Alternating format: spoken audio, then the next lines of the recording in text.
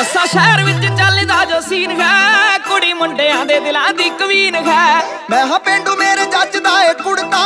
ਉਹ ਵੀ ਪਿੰਡੂ ਅਤੇ ਸੂਟਾਂ ਦੀ ਸ਼ਕੀਨ ਹੈ। ਮਸਾਂ ਲੰਘਿਆ ਸੀ ਮਸਾਂ ਲੰਘਿਆ ਸੀ।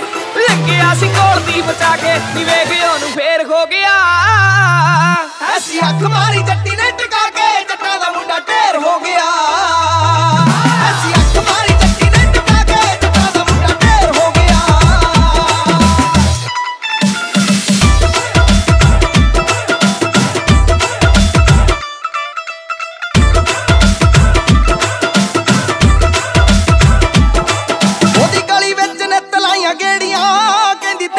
ਤੇਰੀਆਂ ਮੈਂ ਤੇਰੀਆਂ। ਮੇਰੇ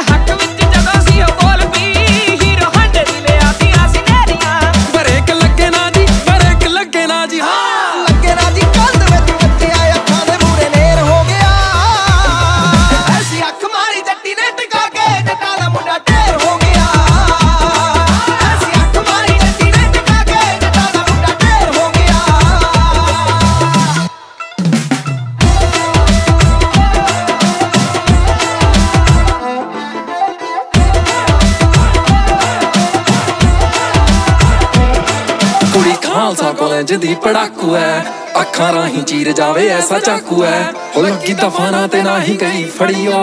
ਇਕ ਲੌਤੀ ਚੰਡੀਗੜ੍ਹ ਦੀ ਉਹ ਡਾਕੂ ਐ ਉਹ ਕੁੜੀ ਖਾਲਸਾ ਕਾਲਜ ਦੀ